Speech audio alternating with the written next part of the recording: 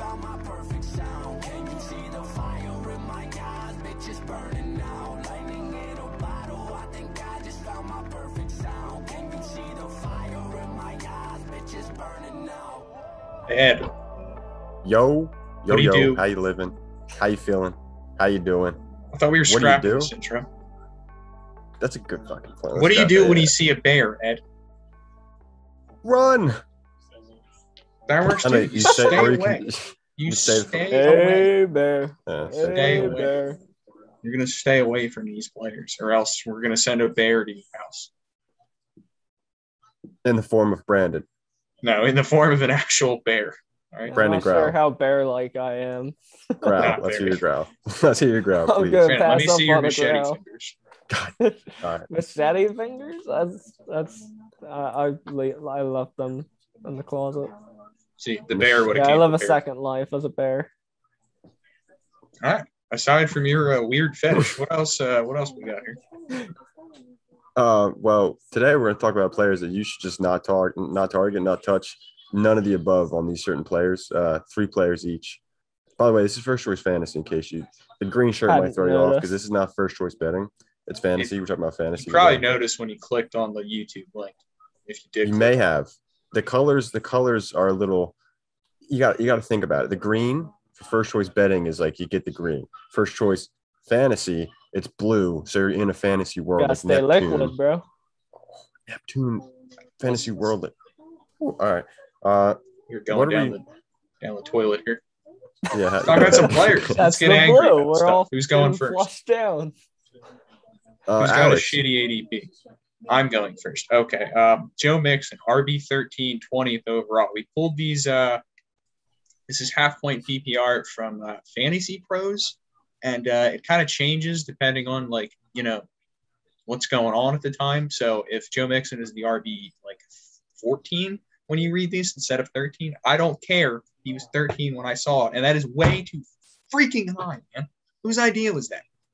Why is he going above Dobbins? That's it. That's that, like that's all you need to the argument. Yeah. Does anyone have a rational explanation for that? Because I don't. crickets. Well, actually, people might argue the Calvin receptions. Ridley. I you know what? What about the whole being on the field thing? Because he hasn't done a whole lot of that.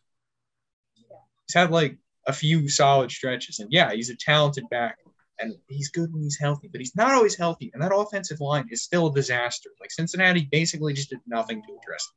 The Bengals are itself. built It around the hasn't. passing game. The, the. Baltimore, they're built around the run game, and Mark Ingram was fucking successful as hell on the back half of his freaking run. Go ahead, Brandon. Go off. Go off. Did you Well, mean- that, Did well, you mean that would just be yeah. Well, I'm saying Mark Ingram when he got traded or signed, traded, whatever. Cut. When he got there with the Ravens, he was a legitimate fantasy star. Everyone wanted him, and then two years later, he's beat, he's cut, and now J.K. Dobbins is there, and he's fresh, looking good, solid, and he's behind Joe You know what's Mixon. not solid? Taking Joe Mixon. Yeah, It's the RB 13. Yeah, twentieth overall pick. Not doing. average. Maybe- maybe Absolutely not doing. not not solid. Absolutely. They're not doing. solid and not solid, and Joe Mixon Not at solid. this ADP not solid. Solid. AKA Brandon. he's liquid or gaseous. Liquid. He's like- Might be gassy. Gas. Oh, he's You, you were up next, Brandon. We were gas going is more dangerous. order. I feel like gas can, has a boom, like chance of boom. No bust. Or He, it he has just it is, yeah, chance of it's- it's stream, like just he's just a stream. Um, yeah. So mine, well, he's a guy that Alex and I both very much dislike. Odell Beckham Jr. He's getting drafted ab- above Chase Claypool. Like I, I don't personally, I don't get that. He's getting drafted one player behind Ja'Marr Chase. I just, I don't. I'm not a believer in Odell anymore. He just has had too many seasons of like inefficiency and not very solid play and Uh, to just playing at all. draft them to draft them around these young talented receivers that I feel like I feel like Chase Claypool, Tee Higgins, I feel like those two guys, even Ja'Marr Chase has like a floor or like they have a safer floor than what Odell about Odell Beckham Jr. has. And, And- yeah, Odell Beckham Jr. may have over there. those blow up games, but that's all he's got. And when are you gonna have him in your lineup with that? He's just a he's just a fantasy blocker. He's just he just sits in your your lineup like a weight and just weighs down your bench, weighs down your flex when you finally choose to put him in, and then you realize that's not the right game. It's two weeks from then. And then you think, oh, Odell Beckham, he looks fantastic. And then you put him back in, and then he doesn't do anything. And then you're just hurt more. He misses the rest of the season. Yes. Well, that would be a benefit. Then you know not to play him. Then you know you can pick up someone else and hope for the best. Ed is fume. I don't like this, Brandon. I just don't. I don't like this Well, take. I know I'm not. I agree. alone. His ADP is too high. If you've taken him over Tee Higgins, you can just get out. I I I'm taking him over Ja'Marr Chase. That's for sure. Um, over Juju Smith Schuster. I feel like those two hundred players percent. are kind of similar. Not at all. The- no, Really? no. Juju's really. I feel like really they're bad. similar. Alex, Uh-uh. are they not similar? Like Juju is like I- I don't. I think Juju is more of like a possession slot guy, and Odell is still boom. more of a big play threat. But those big plays happen about twice a season. So Well, let's be So fair. Let's think about it this way. the same. Let's think about it. Uh, let's think about it this way. Ready for it? So last year he played seven. It was six games, and he played like a few snaps in the seventh game. Got hurt. Right. Uh, that was his second season in in Cleveland. His first season, you know how bad the Browns were overall, right? Coaching was terrible. Baker Mayfield was terrible. Everything was terrible that first year. So yeah, Odell was pretty bad that first year as well. You go back a year, he finished as a wide receiver, top 15 wide receiver. Go back one year, he finished top 15 wide receiver. The three first years or four first years, however long it was, when he was in the NFL, you've seen his ceiling. Like you've seen what he's actually actually. but he's not that guy anymore. You're not that guy, pal. You're not that guy. Thank you for reinforcing my claim. no, no, no. You're no. no, you're See, not that guy. Damn We it. actually we've seen it from Odell. Just because he hasn't done it in the past three years, two of the two or three years, no, two of the yeah, two or three years he's been hurt. Yeah. Well, that's a concern. Is it? I don't know if it's a concern. That's I don't a know if it's a concern. good concern to have. Aren't you Well, the same about guy this who way. won't draft Dalvin Cook because he got hurt in the past? No, no, no. Dalvin Cook is just one of those guys that I just I drafted him actually this year, but it's just one of those guys that like uh I don't know, he's gross to me. But this is this is my point. Ready for it? Two of the past three years he's been hurt. In the one year that he didn't perform up to par, he was in a terrible offense, terrible everything. Before that, like wipe that slate clean. Think about it this way: you've seen him play, and when he plays, he's a top. He's a, he's a top 15 wide receiver, top 10 wide receiver. Disagree with that wholeheartedly. we will see. We will see how this year goes. You would you take him over Ja'Marr Chase? For this year, I don't know, dude, because I'm just worried he's going to miss half the season. Wait, Who? I- Ja'Marr Chase or no, o- Odell. I think Chase, I, I think all of the early, like, all the concerns are to me way overblown. But I do think it could take the man, like, some time to acclimate. I mean, he just took a season off. Yeah. But, like, fair. I feel like he could, like, he could have, a, he could be one of those rookies that, like, closes very well. And I feel like that's going to provide me more utility than Odell will in the latter half of the season. I disagree, man. I like Odell a lot this year. Uh, this is the thing. I, I did my own rankings, right? And I have Odell at 27. So it's not like I'm exceptionally loving him over the actual ADP, but I'm taking him at the value that he is just because I think, yeah, why not? And I, I do have Higgins above him. I have Claypool above him. I like those two wide receivers a lot more, but still like Odell as a wide receiver three. I mean, I'm fine on him as a three. And I mean, this has him as like a high end three. I just, I, I do agree with Brandon. Some of these names below him are not okay. But I guess I would agree on that part as well. Claypool should not be below him. Higgins shouldn't be below him. But Chase, uh, I think so. I just had to come to bat for my guy Odell because you guys both hate the man very heavily. I don't hate the man. I have nothing against Odell. His fantasy. It's just fantasy character. I think Brandon hates him. That's Brandon it. said it would be a good thing if he got hurt. So No, that sounds no, like- but that sounds again, like hating fantasy, fantasy character. The player, I don't, I don't mind Odell. Ed, who do you hate? Who do I? I hate Kenny Golladay, but he's not on one of these. Well, He should have been actually thinking about it. It's gonna be an honorable mention. I'm just gonna drop that in there. Kenny Golladay should not be being drafted at 25 in front of Higgins, Aiyuk, Claypool, et cetera, et cetera. But my number one is another wide receiver that is a big, big boy, right? And he, he caught touchdowns at an insane rate last year. I think he had like 13 touchdowns, something like that. And he still finished like nothing exceptional. It was good. His finish, I don't remember what it was. I think it was like 15, 11th. maybe something like that. Was it I thought 11th? it was 11. I thought it was 11. Man, I can check. I have no clue. But uh, Mike Evans is the man that I'm speaking of. In case I didn't already say that, I may have already said that, but I don't know, man. I just 11th. Yeah. Happy. Uh, fuck that man. But Mike Evans, I just don't. I don't know. Every single year, he has the hype. He has the big games. He has the bad games. You know what I mean? And like, who's he getting That is drafted? bro? Jekyll and Hyde as they come, and I'm not feeling that as my number one receiver. Even as a what? Even as a two, because at that point you're kind I of mean, this reaching for. he's wide receiver 13 here. It's a high end. You know, Yeah. that's practically Yeah. one. It's a high end two Wow. in terms of guys coming off the board. 13. Are you serious? Uh, do you not like that, Uh, or what do you like that? I don't like that. You don't Brandon like likes that. it. Brandon Yeah. appears to be upset at it. No, I don't, like, yeah, no, not digging that. Yeah, they have a lot of uh, weapons in Tampa Bay, and then they added Gio Bernard, which obviously, oh, Gio Bernard, what the fuck is that guy? He's Luigi, but he's Mario, if you think about it, because it's going to be a main target of Tom Brady, as you've seen in the previous years. You know, the running backs get a lot of targets, et cetera, et cetera. And, uh, you know, you have a lot of weapons there. Uh, the offense as a whole is obviously going to put up points. You know that. Mike Evans was the main uh, contributor to the points of the Tampa Bay Buccaneers last year. But uh, that thing could Huh. easily shift because Chris Godwin missed the majority of the season. Am I wrong? I think he like broke his pinky or some crazy shit. But Did when he, he? when he's on the field, he's Hmm. he did something. miss a large portion of the year. And uh, you know, Gronk is obviously still there. You got Gronk. OJ Howard's back.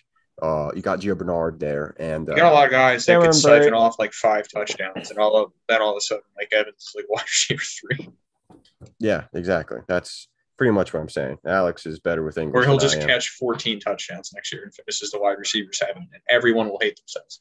or he catches 13 touchdowns next year and still finishes as a wide receiver 18 on the back of a Hall of Fame or a uh, world record Only gets Season. points off of touchdowns. Every single Yeah. catch is a touchdown. four 400 yards receiving and 1400 or 14 touchdowns. 1400 touchdowns would be absurd too, but you know, Love it.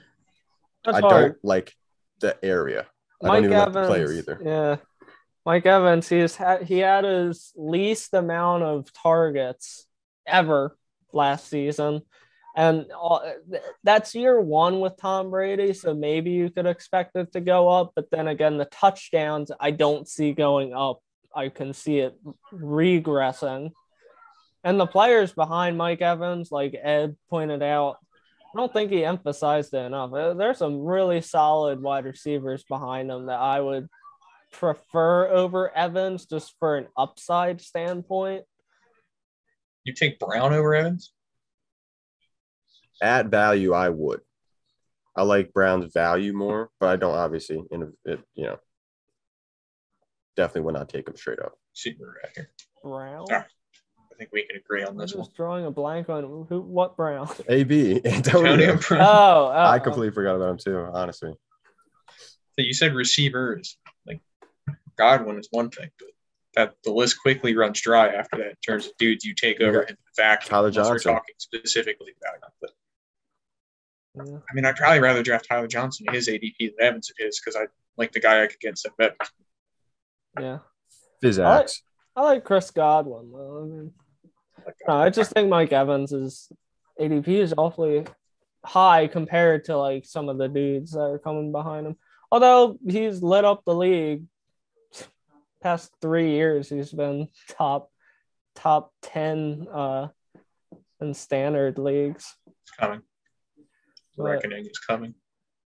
The cliff. yeah. Yeah. We're gonna go to another guy who's lit up the league Ooh. many times, but I don't like the price tag. Julio Jones, 42, wide receiver 15. I don't like it. It's pretty high. Yeah. don't I don't like it. I, gee, I, I don't like it. I get it. It's Julio. If he's on the field, it's gonna be good. But like I don't know how confident of that I am. And like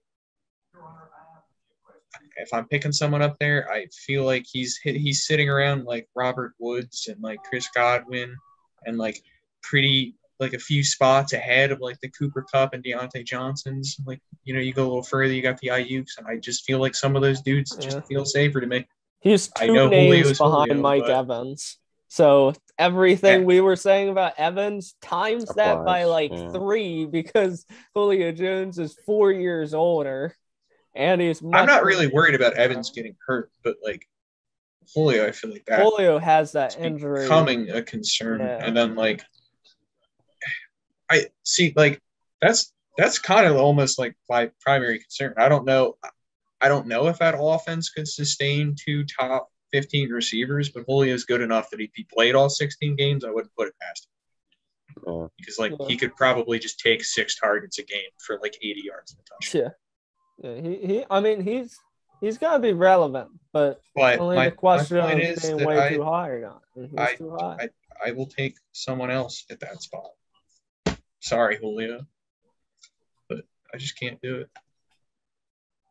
yeah. yeah, I would agree. I would tend to agree. Because of I don't know the passing volume that often. I'd rather have is Amari. Cooper. Amari Cooper is right below. I w- Th- to me, I- they're both they're very talented. Like, well, I, I don't know. Trying to call Cooper a one or a two is to me just a waste of time. But they're both very talented. They have some injury concerns, but Cooper, I feel like, is going to get a hell of a lot more volume, even if he's not as good. facts. Yeah. True. True. True. Well, we're on to my number two. That's Chase Edmonds. Just gotta bounce his big old Chase. ego down. Like Ego. everyone's ego has to get bounced. Ripped on. Put it down. Bring it like. Right, you got a thing with the number 26. Odell is wide receiver Yeah, 26. Odell's wide Edmonds, receiver twenty Edmonds is running back 26, and Brandon's picking a fight with him. but it's crazy. Like, I understand the opportunity is there, but Is it? I mean, I know. I think there's going to be a rookie who's going to cut in a, into his workload next season, and you Oh, may be shit. asking yourself, yourself, who the fuck? There is no rookie running back. Yeah, you're right. There's not. That's how bad I think Chase Edmonds is.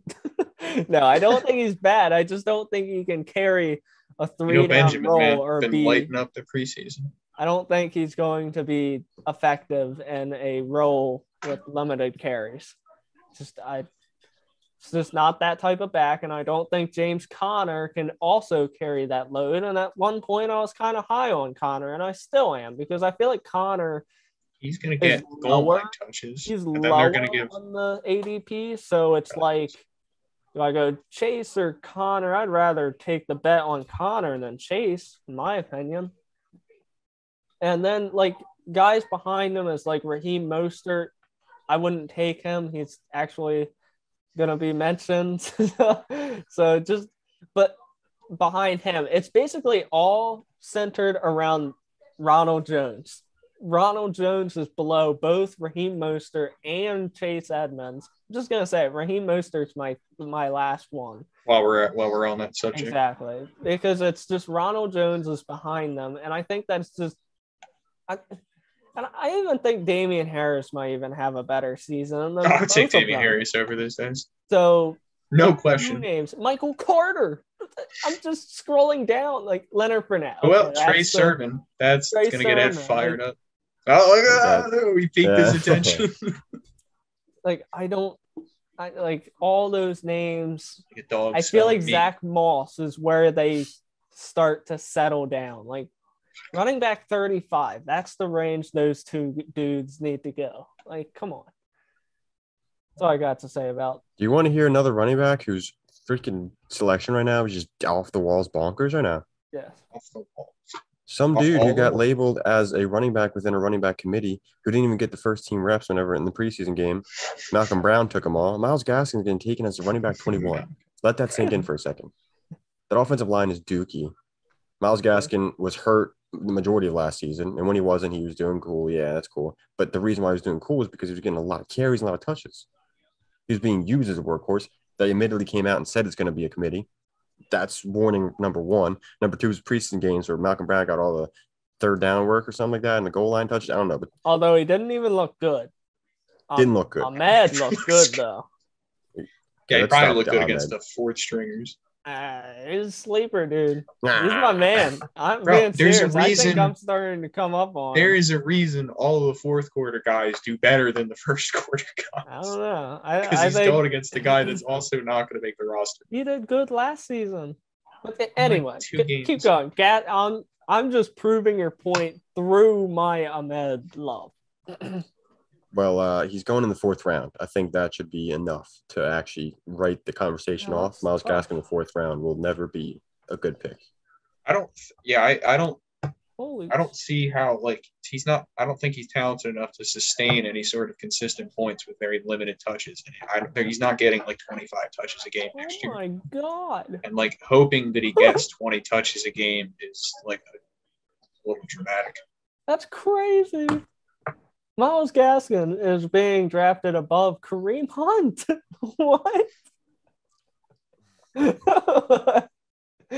That's just bizarre to me. Like Myles Gaskin wasn't My very my thing is that great last season, and like is he's like all right where mike davis is the rb 24 so like he's a little chunk behind gaskin and those two feel like similar players to me in which they overachieved last year and they got like they might have earned their way into some more but like the falcons do not have a lot behind mike davis And- who they cut and as ed said the dolphins like the coach basically got was like yeah he's not Foreman. getting that role Yeah.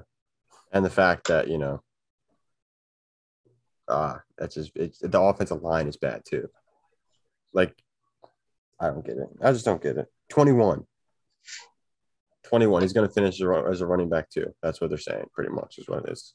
I think, bro, you can get Ronald Jones down at RB twenty nine, You can get That Javonte Williams, I believe, after me. that. I probably. I can't go over the Ronald Jones hate.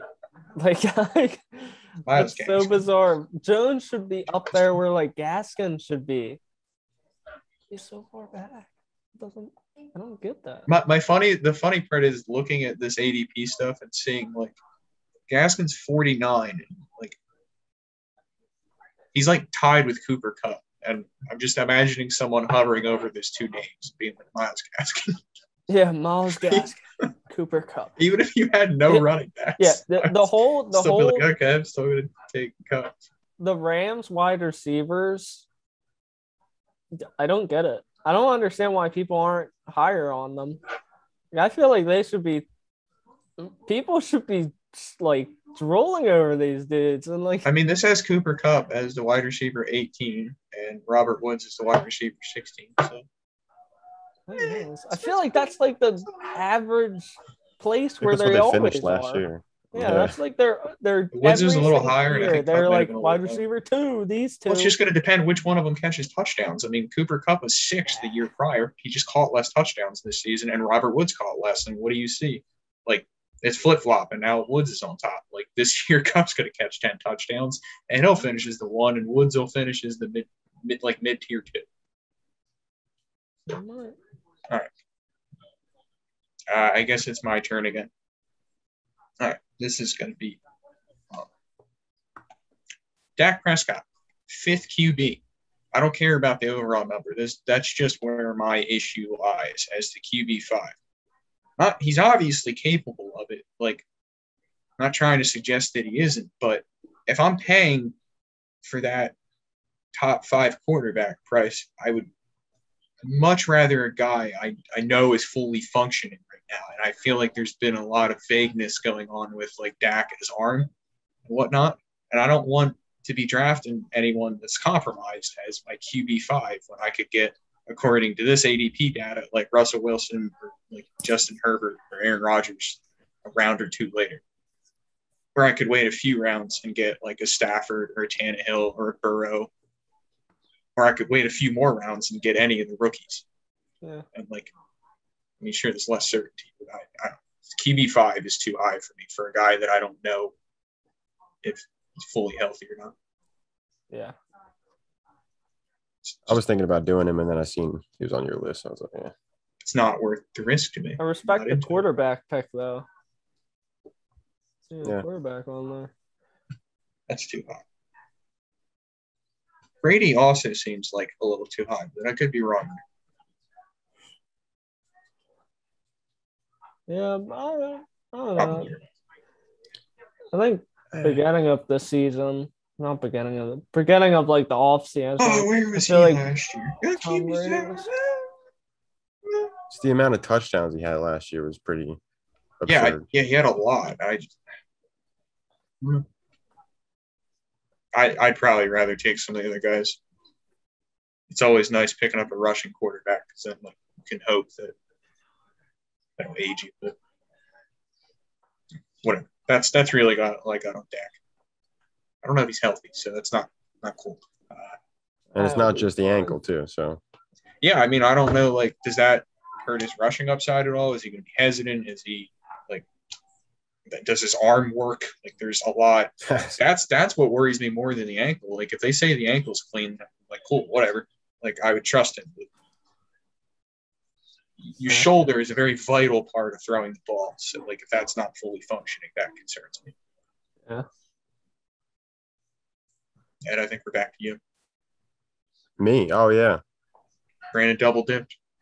Yeah. Well, at this point in the video, I'm sure nobody's watching, and if they are, uh, they don't really care about this one. But it's going to be somebody who's taken as a lottery ticket, who I have no respect for, and I just don't. Dude, you're picking up a lottery ticket and it's already scratched off.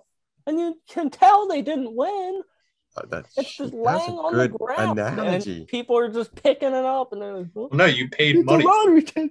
even if it was a dollar. Hey, bro, I'll give Well, you a you're dollar taking for the that time scratched to off reach. lottery You're ticket. taking the time to reach down into the gunk and get your fingers dirty. Like you gotta wash your hands after that. You're like I that's. think we said the name time. yet, but the only reason I don't like T.Y. Hilton as a lottery ticket is because of the guy throwing him the ball. But that should be clear about me. I don't even. I mean, I I'm fine with the guy throwing the ball. I think it's the uh the the, the Michael old. Pittman and the oldness. yeah, the oldness. it is Michael young- Pittman impediment. Yeah, Uh, yeah. yeah, Michael Pitt, Michael Pittman's good. T.Y. Hilton's not, and I think I think he's being drafted like relatively close. And T.Y. Hilton uh is just really bad and old and injured. And I've had him a couple times fantasy the past couple of years, and he's kind of been that landmine type of play. And it's like, don't know if I want that or if I need that. I don't think you guys need that. Um, yeah, he, he's he's dead pretty much. He's a scratch off, like Brandon said, sometimes- who's already been scratched yeah. off. Sometimes we need that reminder. Just like the reminder to like, comment, share, subscribe, do it all. You know, what's the harm? We aren't an already scratched off lottery ticket. We're uh we're fresh out of the machine. Yeah, you're right. I'm not Scratch giving you money. None of that. so do it all. And I think that's about it. That's a wrap, boys. It is. Draft It is. All right. And when uh what do we got what do we got next episode thinking of which We I don't know have what order these are going to be released in. There's I'd going to be say more do ADP these stuff. two. There's going to be I'd some say- draft stuff. yeah. all right so what is the next episode then it's going to be the players that you want to touch pretty much Yeah. Hopefully. Yeah. All right. Cool just sure um Alright. And we should you should have you should see that in two days. And then two days after that we'll be doing an episode about uh what's the, what's the last episode? That's the rookies. the rookies yeah. We're updating our rookie rankings pretty much. Um reaction to the Travis Etienne news that just came out today which is sad for Brandon uh sad for Travis Etienne as well. Sad for good for James Robinson. I guess, and uh, sad for.